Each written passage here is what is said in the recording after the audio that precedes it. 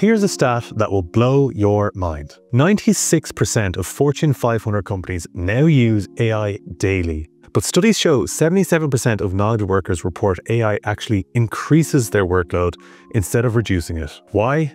Because they're using AI wrong. I went from having to prompt AI five times to get something that was almost right to getting it right in one go just using the simple prompting framework. And I'm going to show you exactly how to do it in the next few minutes. Hi, I'm Kian, the AI productivity coach, and I've taught thousands of professionals how to use AI effectively in their jobs. And I see so many people give up with AI tools when they don't get exactly what they want the first time around. And if this sounds like you, I hate to be the bearer of bad news, but the problem is you're not prompting it correctly. So let's fix this. But to start, what exactly is a prompt? A prompt, very simply, is the instruction you give to an AI tool to tell it what kind of response you need. You can think of it like asking a friend for advice. If you say something like, I'm hungry, you'll get a pretty generic response. Whereas if you say something like, I'm hungry, I'm really craving spicy vegetarian noodles and I need it to be within five minutes of my home. Likely, you're to get a far more tailored answer. And there are plenty of ways to ask AI for a response. The best responses usually have a prompting framework. What is a prompting framework? A prompting framework is just a structured way of crafting prompts so you consistently get clear, high quality answers. It's kind of like following a recipe. Instead of saying, make something delicious, you basically guide the AI step by step through exactly what you want. So why does structure matter when it comes to prompting? So here's what happens when you prompt without structure. AI tends to fill gaps with generic assumptions. You then waste time rewriting outputs and oftentimes results are inconsistent and unreliable. Whereas with structured prompting, you get exactly what you need on the first try. AI becomes a more reliable work partner and you save hours per week on rewrites. Now, there are plenty of prompting frameworks out there and you may have have heard of some already. However, the RICCE framework is my favorite because it's comprehensive but simple, and it stands for role, intent, condition, context, and example. Let me show you an example of what it looks like using this framework. First, let's just try it with a simple but bad prompt.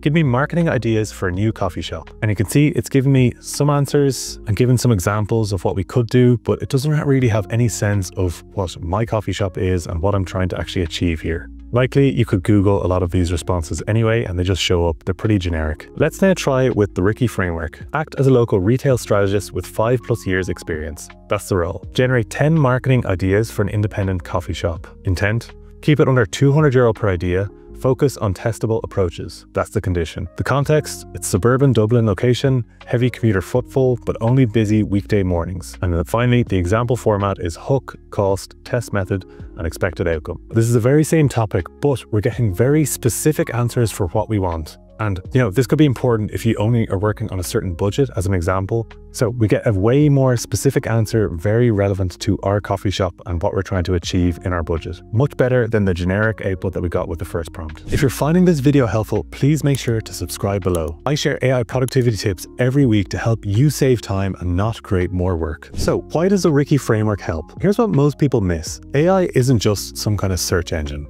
It's very sensitive to context and can change depending on what input and context you give it. When you use this framework, you're not just getting better answers, you're actually telling the AI how to process your request. And each element in this framework controls a different part of the AI's thinking. Rather than searching through all the information in the world, you're actually limiting it to the amount of information, responses, and context it can take in to get you your output. For example, with role, you're acting it to act as a profession with specific experience. This matters because it changes how AI thinks. It could be the difference between asking a quantum physicist versus a Pokemon collector about physics. With intent, you're saying something along the lines of, I need help with this specific goal. The objective is to get this desired result. And this matters because it eliminates guesswork through specifics. For condition, the output must be in this format, tone, or constraints. Without these boundaries, you may find that AI might ramble a bit or give an answer that's way too long or way too short. With context, you're basically giving it the key details and the background that the AI needs to get the answer. Context shapes everything. For example, an email to your boss would look very different to a text to your friend. And finally, example. You might say something like, use the following as a guide and give a sample or a reference.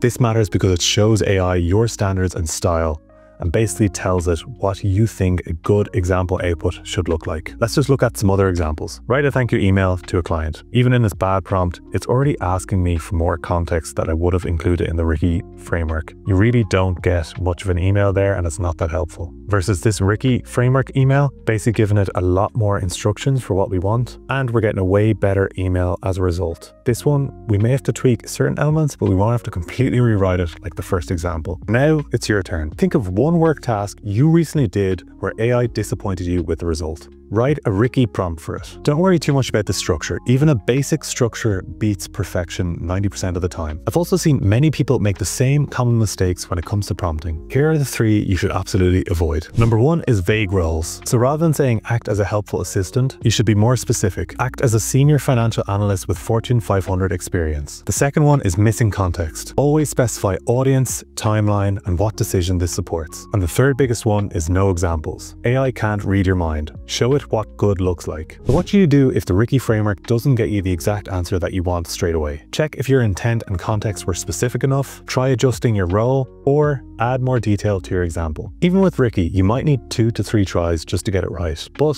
it's way better than having five plus tries every single time. And you should get better over time using this framework. Now, to be clear, you might not need a framework for every single prompt you do. For example, you might have a quick ask or a quick task where you just need to write the prompt quickly and get an answer. And that's fine. When you need a really good answer with really good context, use this framework. So this framework isn't technical wizardry. It's just good communication. Try this prompting framework today. Take your worst AI result this week, structure it with RICCE, and see what the results are like. Let me know what you think in the comments. Was this framework helpful for you? And please make sure to subscribe and follow along on the journey. You now have the framework to turn any tool into your expert assistant. Time to put it to work. Thank you for watching, and I'll see you in the next one.